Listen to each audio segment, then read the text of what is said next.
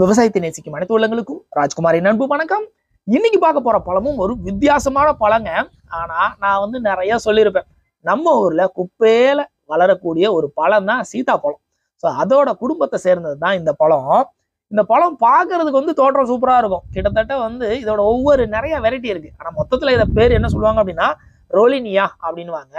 இதுல அந்த தாய் மரத்தை பொறுத்து இதோட சைஸ் வந்து ரெண்டு கிலோ மூணு கிலோ அர வர அளவுக்குலாம் மரங்கள் இருக்குங்க.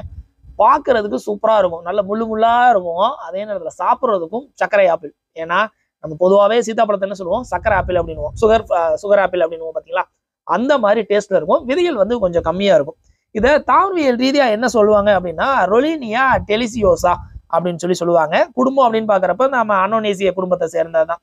இந்த மரத்தை பொறுத்தவரை ஒரு பதினஞ்சுல இருந்து ஐம்பது அடி வளரக்கூடியதுங்க.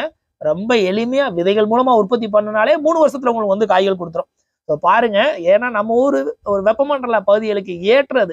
வெப்பமண்டலம்னா எல்லாமே மித வெப்பமண்டலமா இருக்கட்டும். ஒரு நார்மல் கிளைமேட்டை வந்து நம்ம நாட்டு இந்திய கிளைமேட்டை தாங்கி வளரக்கூடியதாங்க இந்த பழம் பொதுவாக இதோட பூர்வீகம் அப்படின்னு பார்க்குறப்ப என்ன சொல்லுவாங்கன்னா வெப்பமண்டல அமெரிக்காவை தான் பூர்வீகமாக சொல்லுவாங்க. அங்கே வந்து ஈஸியாக இருக்கும். இதுக்கு வந்து பார்த்தீங்கன்னா நம்ம ஊரில் தான் என்ன சொல்லுவோம்? ரொலினியான்னுவோம் இதுக்கு உலகத்தில் நிறைய பேர் இருக்கு. என்ன சொல்லுவாங்கன்னா பிரிப்பானுவாங்க லெமன் மெரிங்கு பை ஆப்பிள்னுவாங்க காட்டு சக்கரை ஆப்பிள் அப்படின்னு சொல்லி சொல்லுவாங்க.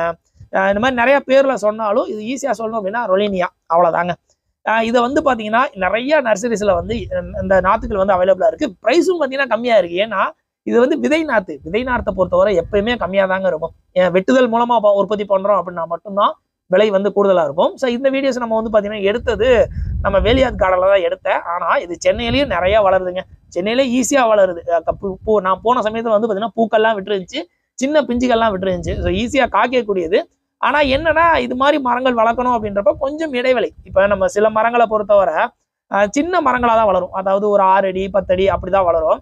இந்த மாதிரி மரங்களை பொறுத்தவரை பிரம்மாண்டமாக வளரும். ஆனால் நம்ம கரெக்டாக வந்து ஒரு கவாத்து பண்ணோம். அதாவது கத்தரித்தல்னு சொல்லுவோம் பார்த்தீங்களா அதெல்லாம் பண்ணி வச்சோம் அப்படின்னா அளவா தொட்டியில கூட நீங்க வளர்க்கலாம். பலனும் வருஷம் ஃபுல்லாக கொடுக்கும். இதுக்கு வந்து சீசன் இல்லைன்னு தான் சொல்லணும்.